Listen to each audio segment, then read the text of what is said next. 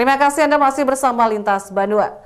DPW Perhimpunan Perempuan Lintas Profesi atau P2 LIPI Kalsel kunjungi lokasi kebakaran di kawasan Rawasari Banjarmasin Tengah, sekaligus menjenguk salah satu orang tua pengurus P2 LIPI Kalsel yang menjadi korban musibah kebakaran itu. Musibah kebakaran yang terjadi di kawasan Rawasari Banjarmasin Tengah belum lama tadi menghanguskan seluruh bagian rumah hingga tak tersisa. Namun dalam peristiwa itu tidak terdapat korban jiwa.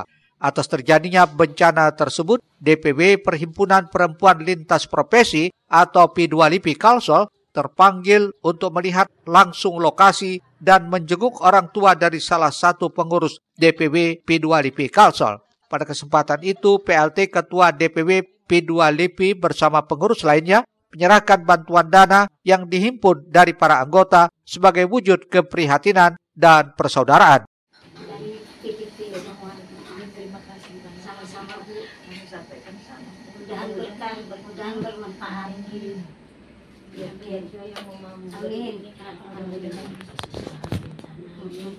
musibah.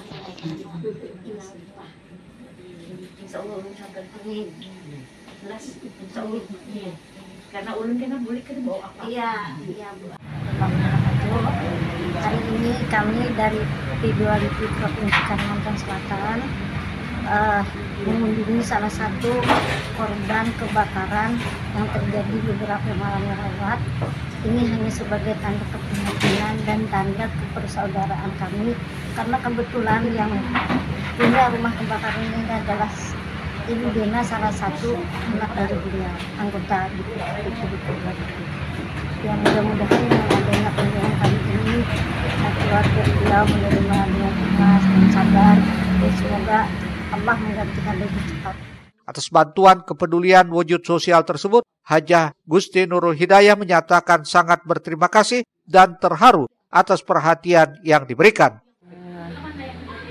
Tanggapanku sebenarnya aku terharu atas perhatian kedua lipi sama kami yang dengan seluruh anggotanya kedua lipi.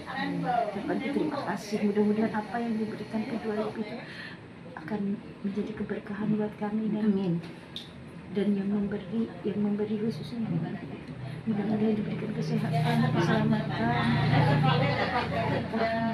harapannya kepada keluarga yang terkena musibah bisa dilapangkan dada diberi keikhlasan dan mendapat ganti yang lebih baik diketahui P2LIPI merupakan organisasi kemasyarakatan yang bergerak di bidang sosial, pendidikan, agama, budaya, dan lainnya dalam memberikan kontribusi terbaik untuk Banua, Kalimantan Selatan.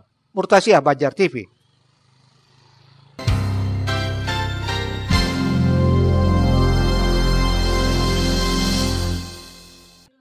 Sementara itu, Wakil Ketua Komisi Sosial P2LIPI Kalsel Delis saat mengunjungi korban kebakaran di kawasan Rawasari Banjarmasin Tengah menghimbau warga untuk selalu berhati-hati dan waspada terhadap bahaya kebakaran.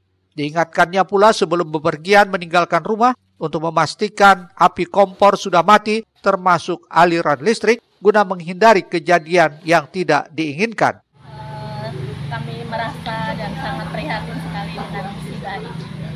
Semoga yang yang ibu yang sudah kena musibah ini dikuatkan, diberi kesabaran dan ikhlas. Uh, kami uh, mengingatkan dan menghimbau supaya setelah kita masak-masak jangan sampai jangan sampai lupa untuk uh, mematikan, jangan sampai ketiduran kan uh, mungkin kecapean ya kan lebih berhati-hati uh, untuk di dapur ya. Delis juga ikut prihatin dengan yang dirasakan korban dan orang tuanya akibat dari musibah kebakaran tersebut. Dengan sedikit bantuan yang diberikan pihaknya, berharap ikut meringankan beban korban. Risna Banjar TV